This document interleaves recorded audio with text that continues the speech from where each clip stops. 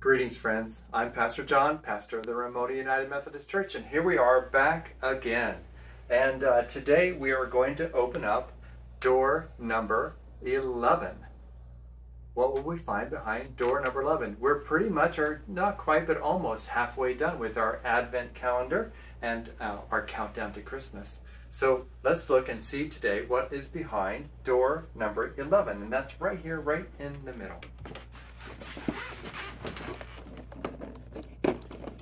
And look, behind door number 11 is a feeding trough, a manger. Now this, this one's full, so it's probably not the one that Jesus is going to be laying in.